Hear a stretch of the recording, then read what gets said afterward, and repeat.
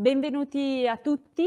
Siamo qui con eh, il professor Paolo Flores d'Arcais che gentilmente ha accettato di essere nostro ospite per una delle conferenze inaugurali di Ardate. Paolo Flores d'Arcais non ha bisogno di presentazioni, ma lo introduciamo in ogni caso. Eh, filosofo e soprattutto da 35 anni direttore della rivista Micromega. Dunque, il nostro festival di arte contemporanea, organizzato da De Blanc, giunge con questa alla sua undicesima edizione, ma abbiamo voluto creare un ideale ponte temporale con l'edizione 2020 perché, eh, per i motivi che tutti sappiamo, purtroppo l'anno scorso abbiamo faticosamente dovuto convertire in ultimo tutto il palinsesto in uh, formato digitale. In più sentiamo, come molti, eh, che questi due anni sono attraversati da una sorta di sentire comune, venato certamente da incertezza, ma anche da una certa aspettativa verso il futuro. La tematica di Ardate 2020 era il dono, mentre quella del 2021 nel tempo sospeso. Quando ho invitato Paolo Flores d'Arcais a partecipare ad Ardate, appresa la tematica del tempo sospeso, mi ha proposto di basarci sul suo saggio Questioni di vita e di morte, in riferimento al dibattito sull'eutanasia che ha interessato soprattutto ultimamente per via del referendum il nostro paese. Eh, nella convinzione che sia importante per l'arte e gli artisti recuperare il loro ruolo all'interno del dibattito pubblico emancipandosi dalle tematiche autoreferenziali che mh, troppo spesso forse interessano il sistema dell'arte, ma anche perché l'evento principale del nostro Festival 2020 è stato la mostra Il dono sulla vita e la morte, ho ritenuto la tematica fosse perfetta per questo nostro incontro, pur nella consapevolezza che sarebbe stata una bella sfida eh, sotto diversi profili costruire questa intervista e a oggi posso confermare che è stato mh, complicato trovare un connubio che eh, mi ci permettesse di affrontare l'argomento guardandolo, indagandolo però dalla prospettiva dell'arte. Eh, nell'arte contemporanea esistono infatti tantissimi artisti che hanno affrontato di petto, seppur con approcci estremamente differenti, il tema della morte, eh, Bill Viola, Felix González Torres, Christian Boltanski, André Serrano, ma anche Roberto Cuoghi. Ma sembra in generale che il panorama del contemporaneo sia distante dalla morte, anche per via, aggiungo, di questa aurea un po' tra l'assettico e il patinato che ha assunto il sistema dell'arte. Quando invece eh, tutta la grande arte cristiana classica era imperniata attorno a questo. Si pensi alla stessa idea dell'uomo crocefisso, i martiri dei santi, spesso atroci, rappresentazioni di ogni genere tra sacrifici, esecuzioni e stragi. C'è un eh, bellissimo passaggio introduttivo che voglio citare tratto da Morte e Resurrezione, un volume dei dizionari dell'arte, dove l'autore, Enrico De Pascale, scrive, cito testualmente, Sfogliando un qualunque manuale di storia dell'arte, visitando un museo, passeggiando lungo le navate di una chiesa, si resta stupiti dal constatare l'eccezionale numero di immagini raffiguranti episodi che, direttamente o indirettamente, evocano la morte. La morte non è infatti un incidente, ma un momento della vita inevitabile e possiamo dire anche solenne, che però ad un certo punto, eh, che nel Novecento possiamo individuare tra le due, due guerre, abbiamo socialmente provato a stornare dalla prospettiva e che il 2020 ha invece, attraverso la pandemia, potentemente rimesso sotto i riflettori, tant'è che è emerso questo linguaggio bellico, perché il sentire comune anche era quello del conflitto. Ecco dunque, eh, forse dopo questo troppo lungo preambolo arriviamo a noi. Allora, eh, dottor Darkais, come sa il nostro è un festival di arte contemporanea per cui io non posso esimermi da una domanda eh, iniziale, eh, che è questa. Lei eh, segue l'arte contemporanea, si interessa di arte contemporanea? Io mi interesserei molto di arte contemporanea, me ne sono sempre occupato tantissimo. Fin da quando avevo 14 anni facevo il giro a Roma di tutte le gallerie d'arte che stavano fra Piazza di Spagna, Via del Babuino, ehm, eccetera. E sono convinto che da alcuni decenni di arte non ci sia più quasi traccia, ci sono alcune eccezioni. C'è un, una sorta di appendice del sistema finanziario. Eh, ritengo che la maggior parte delle cose che passano come arte con l'arte non abbiano nulla a che fare. Su questo ho anche scritto una volta un breve, eh, un breve testo. Eh, io penso che eh, i, gli artisti, fra virgolette, fra molte virgolette, che oggi vendono a cifre eh, le più mh, gigantesche, mh, siano delle truffe. Cioè io non, non riesco a vedere nulla di artistico in Jeff Koons, per dire quello oggi l'ultimo dei più pagati. Ma comunque questo sarebbe un discorso che ci porta molto lontano. Allora, arriviamo quindi più vicini a noi. Nel capitolo primo del suo saggio Questione di vita e di morte, eh, intitolato il capitolo Logicamente, lei scrive La morte è l'unica certezza della vita, nella totale incertezza del quando e del come. La morte ci fa paura e cerchiamo di rimuoverla dall'orizzonte della nostra esistenza. Dovremmo invece tenerla sempre presente, perché nell'esistenza è ineludibile. Le ah. lascio commentare il passaggio. Vede, mi sembra ovvio, perché se noi abbiamo costante consapevolezza della morte che ci aspetta, faremo di tutto per vivere il più intensamente possibile la vita. E invece rimuovere la morte, cercare di nascondersi il fatto che prima o poi ci capiterà, eh, ci porta molto spesso a vivere superficialmente la vita, a non godercela appieno. Il mio uh, librettino si chiama appunto Questione di vita e di morte perché le due cose sono assolutamente connesse. E si parla del diritto di morire, del diritto di abbreviare un'esistenza quando, perché questo è il suicidio assistito, l'eutanasia, abbreviare la propria vita quando è diventata una tortura insopportabile. Capita in molti casi di eh, fine vita. Ma tutto ciò non è lugubre, perché è invece eh, la ricerca di poter vivere quello che si ha della vita con la massima pienezza possibile da tutti i punti di vista. Vorrei quasi dire che essere consapevoli della morte è ed esserne sempre consapevoli, non nasconderselo mai, è eh, la condizione per vivere intensamente una vita, direi, epicurea, in cui il piacere, la ricerca del piacere in tutti i suoi aspetti, della gioia e della pienezza, è eh, il filo conduttore.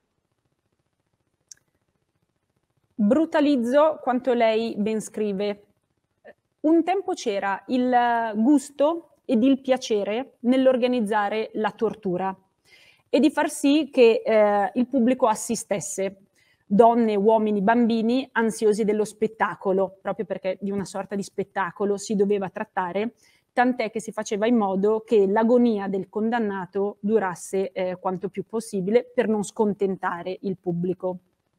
Oggi invece negli stati dove ancora esiste la pena di morte, anche chi ha commesso i reati più crudeli ed efferati ha il diritto di morire con dignità e senza dolore. Ho ritrovato una, secondo me, bellissima dichiarazione del poeta eh, Paul Morand, che credo rappresenti quello che si augurano la maggior parte delle persone, almeno parlo per me e mi augurerei io. Risponde infatti così eh, in una delle sue ultime interviste ad una domanda sulla morte.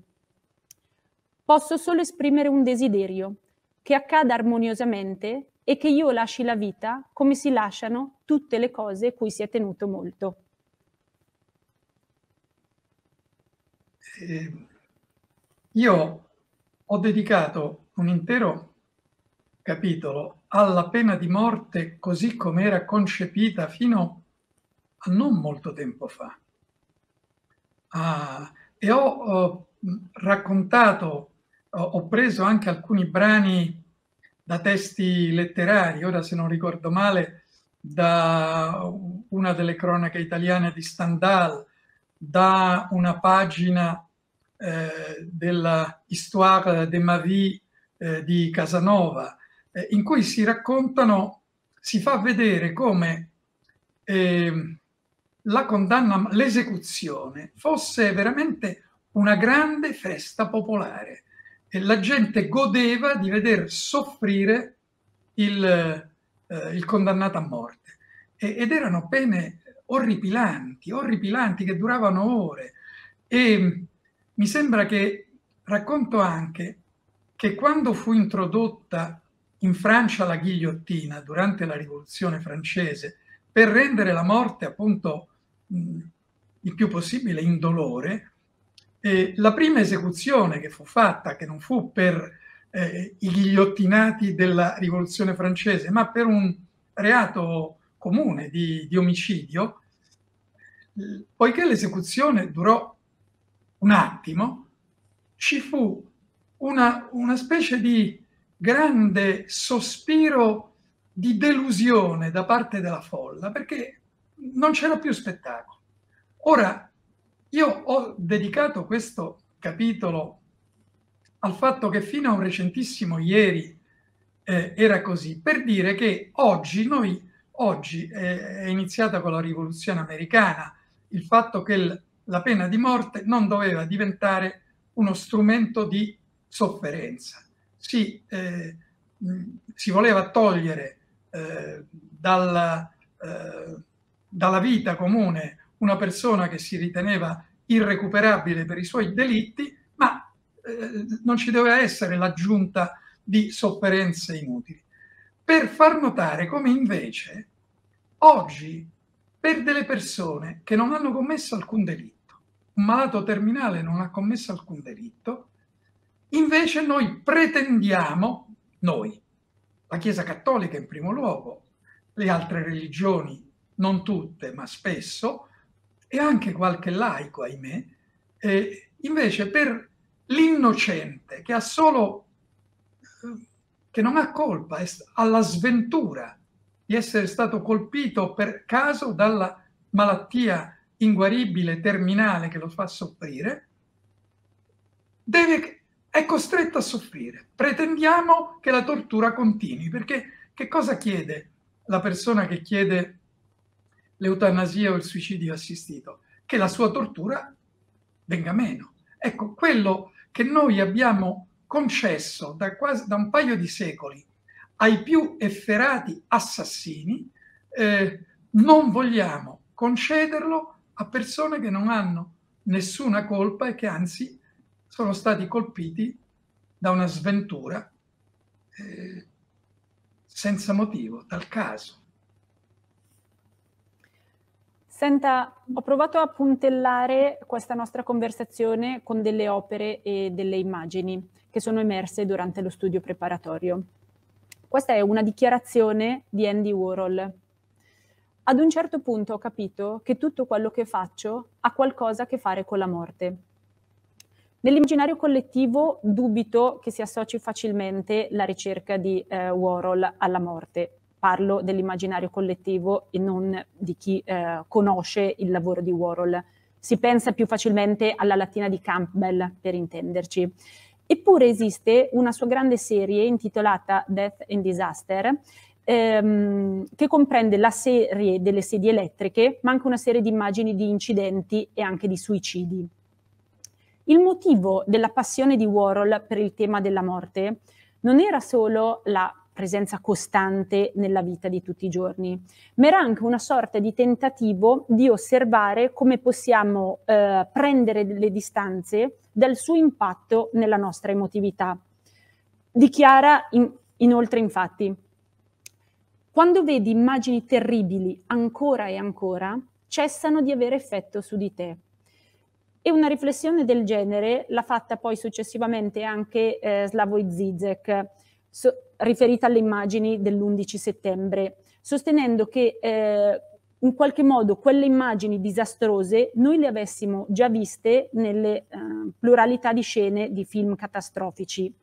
Le domando, secondo lei l'abitudine a vedere la morte come spettatori, intendo quindi separati da quello che contempliamo, a cosa ha portato? Intanto io trovo uh, Warhol pessimo, eh, anzi è, è con Warhol che direi incomincia la non arte e la finanza tossica. Ma detto questo, eh, guardi che queste riflessioni furono fatte anche molto prima. Eh, per esempio, mh, il primo bombardamento americano sul Vietnam eh, occupava a, a piene colonne tutte le prime pagine dei giornali e apriva tutti i telegiornali. Il trentesimo bombardamento americano sul Vietnam, che naturalmente non è che ha fatto meno morti, anzi ne faceva di più, perché c'era la famosa escalation, eh, era, se andava bene, a pagina 9, in basso a sinistra, un trafiletto di poche righe. La suefazione è un fenomeno è un fenomeno psicologico notissimo e per cui in più le grandi stragi ci colpiscono meno che il caso singolo drammatico. Il caso singolo drammatico eh, ci prende pienamente dal punto di vista emotivo. Eh, nei giorni scorsi è stato mh, ricordato i 50 anni dalla morte di un bambino in un pozzo che si tentò di salvare in tutti i modi e non ci si riuscì. E ci fu una dura, eh, diretta che credo durò un paio di giorni con il Presidente della Repubblica Pertini che andò lì. E, e proprio ieri l'altro credo che sia morto uno dei soccorritori, l'unico che era riuscito a toccare questo bambino. Ora, eh, quella è la morte drammatica di una persona. Ma noi abbiamo in continuazione stragi di centinaia, di migliaia di persone che non ci fanno nessun effetto, perché eh, una persona è una persona. Tante persone finiscono per essere un numero. E questo è, è, è, e naturalmente su questo contano anche i guerrafondai che eh, eh, si danno alle stragi, perché sanno che, che poi eh, la reazione ha sempre meno mh, fondamento emotivo e quindi alla fine, eh, alla fine si spegne. Ecco, eh, questa è la condizione della nostra psiche e, e naturalmente dovremmo sempre esserne consapevoli per non assuefarci all'orrore. E io credo che eh, il malato terminale che ormai non vive più, gli altri, i cardinali chiamano la sua vita, lui la sua vita la chiama tortura, ha diritto a porre fine a questa tortura. Chi eh, cerca di impedirglielo, e, e la legge italiana oggi lo impedisce, anzi sanziona pesantemente fino a 12 anni chi lo aiutasse a eh, eh, morire, un, non, non ha una cultura della vita, ha una cultura della tortura. Sì, ehm, tant'è che la parte del suo saggio, Questione di vita e di morte, che lei eh, dedica al racconto di alcune esperienze di persone che hanno chiesto l'eutanasia, hanno combattuto per ottenere l'eutanasia, devo dire che è stata per me eh, veramente molto toccante e in alcuni eh, momenti ho fatto anche difficoltà ad andare avanti con la lettura, perché è vero che quando si tratta del singolo c'è questa totale immedesimazione con, che invece viene a mancare, eh, si può portare anche un esempio strettamente contemporaneo, il bollettino del Covid, per quanti centinaia di morti, eh, ormai uno non lo sente neanche più sostanzialmente, è, è, triste però è così, mentre invece questa immedesimazione torna con il singolo. Eh, a proposito del singolo, eh, preparando il nostro incontro ho visto un film bellissimo, eh, Il mare dentro di Alejandro Amenabar. Eh, è tratto dalla storia vera di Ramon San Pedro, costretto a letto per 25 anni, eh, durante i quali ha combattuto, senza vincerla, eh, la battaglia per il suo diritto all'eutanasia. Dico senza vincerla perché lui alla fine è stato costretto a farsi eh, aiutare da un'amica. Nel film, ad un certo punto, la cognata del tetraplegico Ramon, che è colei che materialmente si prendeva cura di lui, nel difendere eh, la posizione di Ramon, dice questa frase che mi ha colpita molto. Lei ha la bocca troppo larga. Mi ha colpita questa frase perché ho l'impressione che, ehm, sebbene sia sempre corretto, eh, si aprano dei dibattiti e dei confronti, spesso si sia sentito commentare queste battaglie e queste situazioni che comunque sia sono personali e riguardano appunto il singolo che le sta vivendo in delle maniere tra il volgare e comunque anche l'improprio.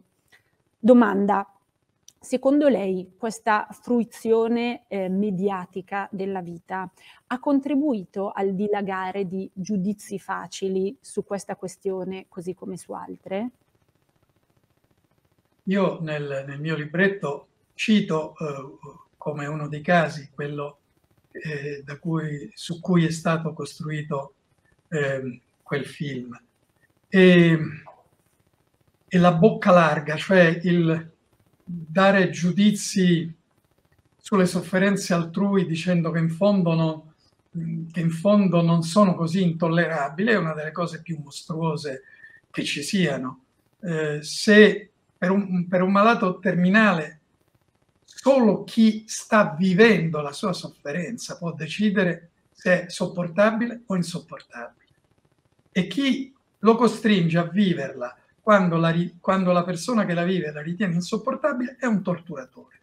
E, ehm, il, le discussioni mediatiche vengono costruite in un modo assurdo e io spero, siccome ora andremo a un referendum, eh, eh, spero che non ci siano intralci da parte della Corte Costituzionale, sarebbe uh, veramente uno schiaffo eh, a tante cose.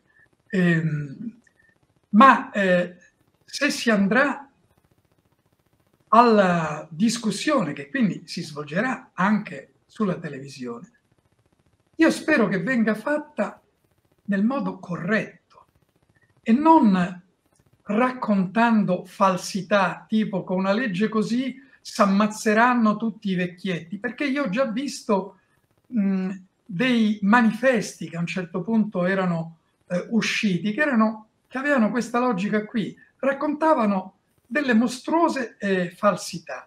Ehm, il diritto all'eutanasia o al suicidio assistito consiste solo nel fatto che una persona consapevole reiteratamente dice che non ce la fa più a considerare la sua una vita la considera tortura e vuole essere liberato da questa tortura e non è in grado di liberarsi da solo se non, se non aggiungendo orrore alla sofferenza, per esempio buttandosi dal quinto piano di un ospedale. Io ho raccontato tre episodi di persone molto note perché erano tutte del mondo del cinema o della letteratura che sono stati costretti, uno mi sembra l'ultimo fosse eh, Monicelli, sono stati costretti ad aggiungere alla loro sofferenza di tortura del, della malattia anche l'orrore di una morte che avrebbero preferito avvenisse tranquillamente, serenamente. E non so se c'è altro da dire sull'argomento. Sì, eh, mi ha dato l'assist per la domanda successiva, dove faccio appunto un breve excursus sul suicidio. Allora, l'antica Grecia onorava il suicidio e anche i romani gli hanno dedicato un culto rispettoso.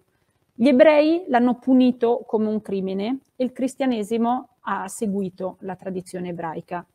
Diceva infatti Sant'Agostino, quando ci si uccide, si uccide un uomo. Nel Medioevo si è inventato addirittura di fare un processo in piena regola al cadavere. Luigi XIV confiscava i beni dei colpevoli di suicidio e Napoleone proclamò che un soldato che si uccide è un soldato che diserta. Da lì in poi si è assistita ad una sorta di ondata romantica e eh, l'uomo è stato riconosciuto come, diciamo, più padrone del proprio destino, tant'è che il suicidio entra nella grande letteratura. Dolori del giovane Werther di Goethe, Le ultime lettere di Jacopo Ortis o I demoni, dove Dostoevsky fa dire ad un personaggio L'uomo non ha fatto altro che inventare Dio per vivere senza uccidersi. E anche Primo Levi, dove eh, Se questo è un uomo, scrive la sicurezza della morte impone un limite ad ogni gioia, ma anche ad ogni dolore. Dottor Darkais, è ovviamente una domanda retorica, ma ci spiega che differenza c'è tra il suicidio e il suicidio assistito?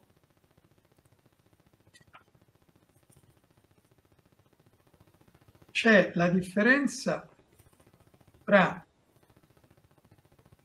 il dover aggiungere una sofferenza supplementare alla propria volontà di non soffrire più oppure di poterne fare a meno di questa sofferenza supplementare. Eh, I casi che io ho citato, di Monicelli e di altri personaggi eh, molto noti, mh, mm, significano proprio questo. Quelle persone vivevano la loro condizione di malati terminali come una condizione di tortura. Volevano uscirne. Avrebbero voluto uscirne nel modo in cui penso tutti noi vorremmo uscirne se ne vogliamo uscire, cioè col massimo di serenità, senza soffrire, con, eh, con una flebbo che non ci fa eh, sentire nulla e magari con eh, i, le persone più care che stanno vicino a noi. Io racconto il caso, ora non mi ricordo se di un paziente australiano che finisce eh, che co- con i suoi più cari amici e familiari eh, eh, brindano insieme eh, con lo champagne negli ultimi istanti della sua vita e lui mh, che aveva avuto una bellissima vita e che non, non ne poteva più di vivere attraverso una terribile agonia, può concludere eh, nel modo, non dico migliore, perché una morte prematura non è mai migliore, nel, nella fattispecie quell'uomo mi sembra che fosse comunque molto anziano, quindi aveva molto vissuto, ma eh, eh, nel modo meno doloroso e meno angoscioso eh, possibile. Ecco, questa è la, la differenza. In una disputa è sempre buona regola scontrarsi con i campioni dell'arte avversa, si legge sempre nel suo libro. Rispetto all'argomento fine vita, lei si è confrontato con personalità di spicco, per usare un eufemismo, da Dionigi Tettamanzi a Joseph Ratzinger, di recente anche con Matteo Zuppi, che è l'arcivescovo di Bologna. Volevo sapere complessivamente che impressione ha tratto da questi incontri. Guardi, con il cardinale Tettamanzi, che è stato cardinale di Genova prima e cardinale eh, arcivescovo di Genova prima e poi arcivescovo di Milano dopo, quindi uno dei porporati più importanti nel, nel paese. Io ho avuto una lunghissima discussione sulla bioetica perché Tettamanzi eh, ha scritto eh, il manuale di bioetica, uno dei due manuali di bioetica cattolici più importanti e che vengono usati in tutto il mondo. L'altro è quello di Monsignor Sgreccia, anche lui poi diventato da ultimo cardinale. E, e quando Tettamanzi pubblicò questo suo volume, che ha un'enorme influenza, perché appunto nei seminari viene utilizzato, ehm, abbiamo mh, registrato, sono andato a Genova, abbiamo registrato una lunghissima conversazione, l'abbiamo poi sbobinata, lui ha rivisto la sua parte e l'ho pubblicata vent'anni fa circa, forse ormai anche 21, su Micromega.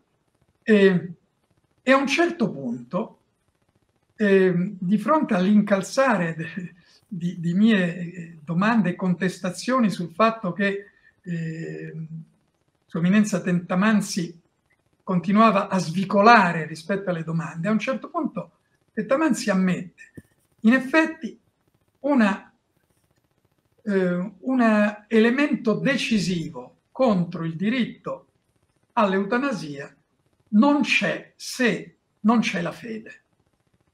Quindi è il riconoscimento che senza la fede argomenti davvero conclusivi contro il diritto all'eutanasia non ci sono.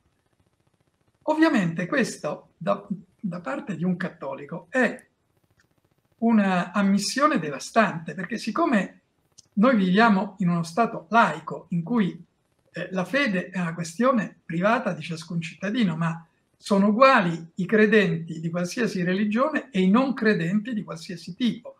E quindi la fede di una religione non può essere argomento per imporre una legge. La logica conseguenza di questa ammissione è che quindi la legge deve garantire a chi lo voglia eh, l'eutanasia e il suicidio assistito. Poi eh, i pastori della Chiesa eh, inviteranno le pecorelle del loro gregge a non utilizzarlo. Questa è la separazione eh, tra Chiesa e Stato. Naturalmente nel corso della stessa conversazione, poi Tettamanzi ha cercato di edulcorare, sminuire, eh, ma ha, ha avuto eh, il rigore e l'onestà intellettuale di non chiedermi di cancellare quelle affermazioni che aveva fatto, perché le aveva fatte. Ora, in tutte le successive discussioni che io ho avuto con alti, con esponenti, alti esponenti della gerarchia cattolica, eh, ho iniziato le discussioni sempre con una domanda molto semplice. Eminenza, sul suo fine vita preferisce decidere lei o che decida io? E non ho mai avuto una risposta precisa. Erano subito risposte che aggiravano il problema, parlavano d'altro. Allora a questo punto io dicevo, Eminenza, io però vorrei una risposta evangelica, nel senso di Matteo 5,47 mi sembra. L'ho citato talmente tante volte che forse lo ricordo e quel versetto che dice il tuo dire sia sì, sì, no, no, perché il di più viene dal maligno. È Gesù che parla e che quindi dice che chi non dà risposte nette parla attraverso il diavolo, non è più... Eh, e a questo punto eh, queste persone, questi vescovi, questi cardinali non sapevano che rispondere e si mettevano a parlare d'altro. Eh, ecco, questo per dire che eh, non c'è un argomento razionale che davvero possa far dire no al fatto che se la mia vita io la vivo come tortura, eh, non possa porvi fine facendomi aiutare. E, ehm, per questo io dico che in realtà la questione non dovrebbe neanche essere sottoposta a referendum. Eh, non, siamo, c'è l'unanimità sul fatto che nessuno vuole che sul suo fine vita decida un altro. E allora, se eh, il cardinale X giustamente non vuole che sul suo fine vita decida io, perché mai sul mio fine vita dovrebbe decidere lui? Siamo tutti d'accordo che nessuno decide sul fine vita di un altro è una condizione rarissima nella discussione pubblica. C'è l'unanimità su questo principio. Basterebbe questo principio che dice che sul proprio fine vita eh, decide ciascuno liberamente, eh, trasformarlo in legge, anzi addirittura in articolo della Costituzione. Senta, ci avviamo alla conclusione con le ultime tre eh, domande. Le racconto questo aneddoto. L'anno passato noi avremmo dovuto organizzare una mostra di, eh, importante curata da Ed Atkins, che è uno degli artisti contemporanei più convincenti sotto diversi profili. In quell'occasione però Ed Atkins sarebbe stato curatore e non artista che espone il suo lavoro, eh, organizzatore, diciamo così. Il progetto curatoriale prevedeva la fruizione di un film di Stan Breakage, che è tra i padri del cinema sperimentale, in cui sostanzialmente si vede ripresa dal vero un'autopsia. Ecco, per proporre questo progetto abbiamo affrontato innumerevoli difficoltà, nonostante il nome prestigioso dell'artista, l'importanza indiscussa del cineasta, nonostante il progetto fosse stato con, nella sua interezza con successo già presentato a Berlino. Ehm, qual è, le domando, secondo lei, la difficoltà nell'approcciare la carne reale senza il filtro della rappresentazione o, come dicevamo prima, chiamiamola la devitalizzazione della ripetizione? Sa, eh, dipende dalle circostanze. Cioè, io non credo che di per sé mostrare cadaveri squartati sia una buona cosa di per sé. Eh, io penso che, per esempio, eh, far vedere la realtà dell'agonia di persone che vorrebbero eh, il suicidio assistito mh, possa essere una giustificatissima iniziativa eh, per far vedere appunto cosa c'è di reale dietro la pretesa di essere dalla parte della vita. Eh, io, per esempio, di fronte all'obiezione perché in questo libro io mi pongo le obiezioni più scomode, ovviamente. E allora una delle obiezioni scomode è, ma così eh, e, e, per i neonati, eh, anche per i neonati ci può essere l'eutanasia? E io riporto il racconto di quali sono i casi in cui in Olanda o in Belgio è possibile eh, l'eutanasia neonatale e mh, riporto una, pagina, una paginetta, credo, di qual era la condizione di uno di questi piccoli, di questi, avevano credo alcuni mesi, di, di, che ho fatto difficoltà a trascrivere perché eh, prende alla gola la, la, sofferenza mostruosa di questo piccolo bambino, cioè mostruosa. Ecco, con, quando si sentono eh, i cosiddetti difensori della vita eh, pretendere che invece queste sofferenze continuano. Allora in quel caso io credo che farle vedere queste sofferenze possa essere una pedagogia necessaria. Dopodiché però eh, quello di squadernare autopsie per un'operazione artistica, le, le ripeto, io mh, cose di questo genere non, lei mi dice quest'artista è molto noto, molto importante.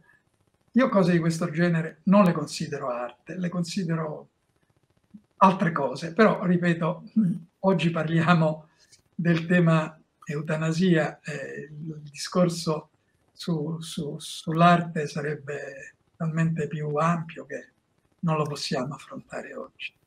Certo, ma eh, appunto eh, poi eh, volevo prescindere dalle valutazioni del singolo, ma per utilizzare il pretesto che è stato utile per eh, insomma, l'osservazione che lei ha fatto, ovvero che dalle volte approcciarsi alla realtà senza diciamo, filtri eh, sarebbe anche più efficace, soprattutto per determinate tematiche.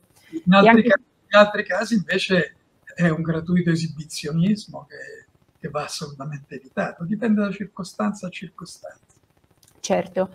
Eh, nel saggio Davanti al dolore degli altri di Susan Sontag si trova questo passaggio. L'arte per definizione, ma le fotografie che documentano eventi disastrosi vengono criticate se appaiono estetiche, vale a dire troppo simili all'arte.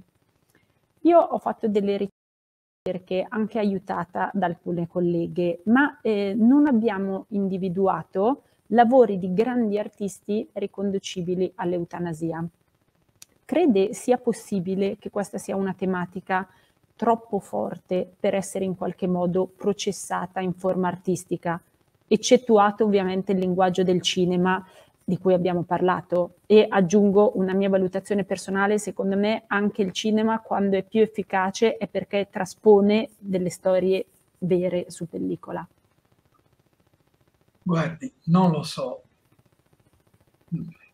Una fotografia coglie un momento statico.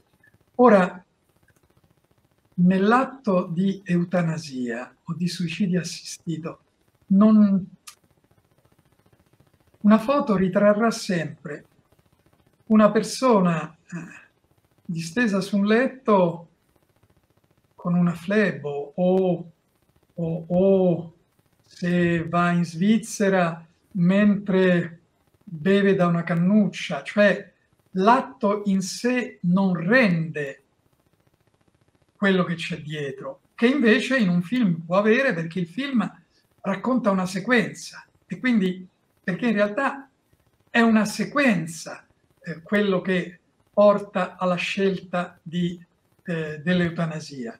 Eh, quindi credo che il motivo sia questo, però non, non, lo so. Poi magari qualche fotografo invece ha, ha, ha scattato delle foto, no, non lo so. Sì, infatti era interessante questa questione di quando diventa eh, troppo estetizzante e quindi non eh, rispecchia quello che sta succedendo, ma concordo con quello che diceva lei, che la narrazione cinematografica consente di descrivere meglio. Senta, eh, io ehm, non sapevo come eh, concludere perché mi sarebbe piaciuto farlo attraverso eh, qualche artista contemporaneo, ma come accennavo non ho trovato un lavoro che insomma utile per questa circostanza. L'unica cosa che ho trovato che mi piaceva farle vedere e eh, commentare velocemente è un um, brevissimo lavoro di Cronenberg girato da sua figlia eh, che mi sembra almeno a me è parso una buona conclusione perché in qualche modo l'ho letta come una riflessione sul fatto che la morte del proprio corpo fondamentalmente poi eh, l'affronta eh, chi la sta vivendo. Quindi glielo faccio vedere e eh, poi lascio a lei la parola.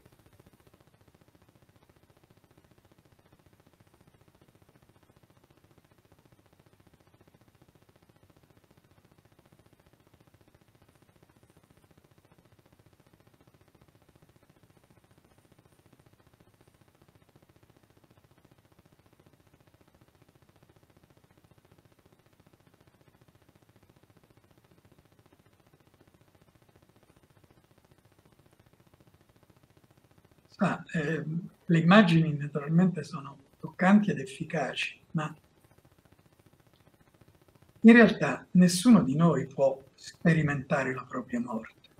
Noi possiamo sperimentare eh, la nostra agonia, la nostra sofferenza, l'attesa della morte, che, ma come esperienza noi possiamo sperimentare solo la morte degli altri, la morte delle persone che ci sono care. E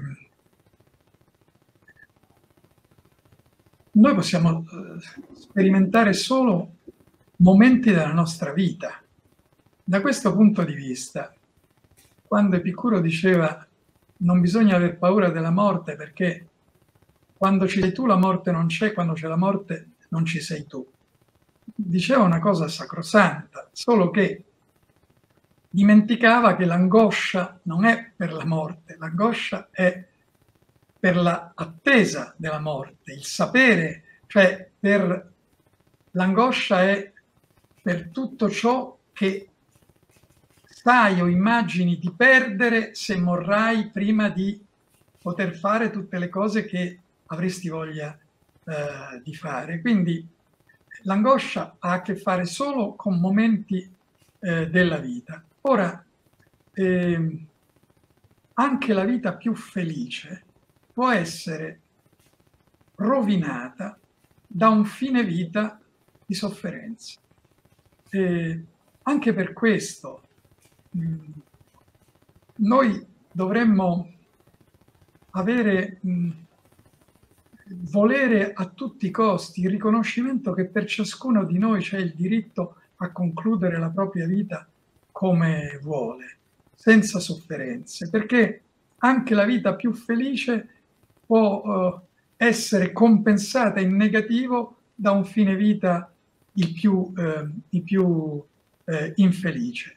E ehm, io ho sempre parlato, quando ho sottolineato chi sono oggi, soprattutto in Italia, i nemici del diritto di ciascuno alla propria vita e quindi anche al proprio fine vita, eh, la Chiesa Cattolica.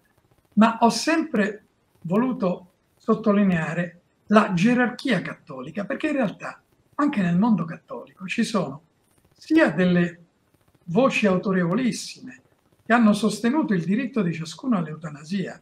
Eh, Hans Küng è stato il, il più grande teologo de, da, da, mezzo secolo a questa parte.